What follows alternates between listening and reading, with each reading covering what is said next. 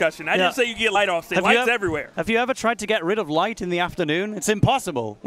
I don't. You don't have curtains Unless outside. unless you're in North England. True.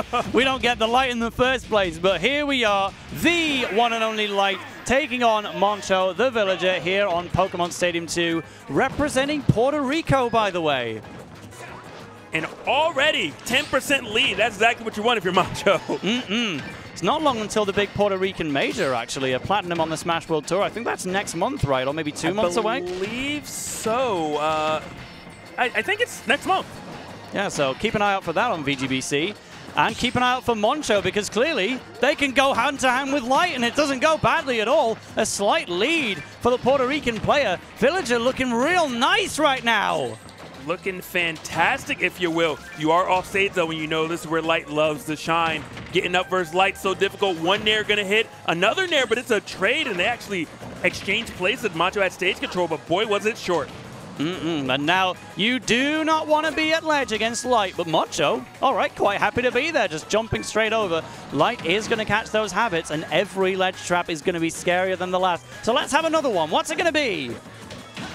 It's going to be it's going to be a KO. You get two fake back airs and an up smash to take the stock. Yeah, and good awareness by Light, knowing that Moncho was going to want to go over top and having the up smash waiting. Intangibility on the on Fox's foot during the up smash, so you know there's nothing that uh, Moncho could throw out, but we have an axe, baby. Yeah, Fox is simply not built to stand up to that kind of punishment. Now, Moncho actually could have extended off of that landing neutral air, but I don't think Moncho had the confidence it was actually going to hit. Light's usually going to shield that one. Double pocket to try and exploit the invincibility on the way back down. Yeah, it's a really underutilized tool that Villager has access to, and I love that Moncho is employing it. Yeah, like you're clearly not trying to pocket a Fox Blaster, but you are going to be pocketing an up smash, We need to pocket some of these stocks, okay? Because Mm-hmm. you're giving them away right now to Light. All right, and reflecting as well. Like, that's such a common trick from Villager to put the side B out, then go for a grab or another forward air. You can't defend against everything, but when you've got a reflector, all of a sudden the plan just shuts itself down a little bit. Yeah, and I mean, this this was starting off very well for Moncho. We knew it was very early. We were wondering how long it would last, but now Light's on the verge of a two stock, not even at 50% on this second stock, and I don't know if Moncho's ever getting back on stage. Yeah, managing to roll back in, but then put themselves back at ledge. Choosing to be in disadvantage. Light did not move whatsoever, and you are going to eat a sour spot up smash for that get up attack. And in the end, the back air. It's always going to be a fake. Don't believe it when they say it's going to kill, but nevertheless, we might be following it up right now with something else.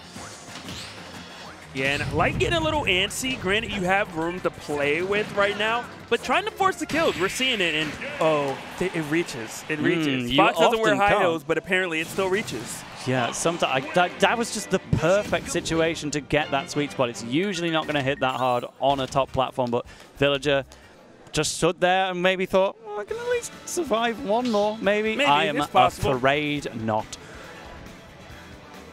But a stellar performance from Light as expected. Moncho looking solid, looking like it's doable. You know, if you reach really deep down into the bag of tricks, you might get a game. But it, it's, it's looking hard. It's looking hard. Yeah, so we're going to get it now back to Pokemon Stadium 2. Moncho essentially saying, I'm, I'm not going to take use of the stages because Light is always happy to be there. He's one of the quickest people in the world to just say, back to Stadium.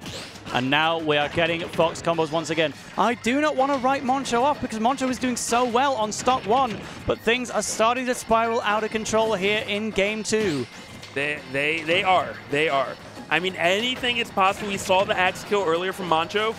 You know, maybe that's something you can use. Maybe you can get Fox off stage and drop a bowling ball, but just right now, nothing ah. is going Moncho's way, and Light is making it look easy. Yeah, did you see that in the blast zone? Moncho actually tried to start a side B, thinking Fox back air never kills, so I'm just going to start my side B to recover. Unfortunately, if you're going to act too soon, you will use, lose your stock to that Fox back air, and now you are a full stock behind. Yeah, full stock behind, already lapped in Oh, damage. hello. You went low. There's a chance. That you will die instead! Fox, he may have an exploitable recovery, but it's not short of distance. Moncho had not even considered the possibility that he was going to lose his stock as well, but that's an unfortunate one, and now you might be in that position again. I kind of like going out there right there. I think Light was going for hard read on the balloons. Because if you do pop the balloons, Villager does die. You know, does free fall. Uh, instead, the back air. That's a nice little one. It was unsafe. If that back air did not kill, you were eating an up smash or the start of a combo. But thankfully, Moncho finding the opportunity to, at the right moment, to stay competitive in this one.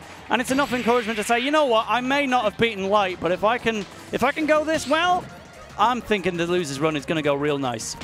But it isn't over. The back air was a fake. The up smash is not. That's going to be a 2-0 for Light, but very well played from Moncho to keep it alive. Very exciting stuff. Yeah.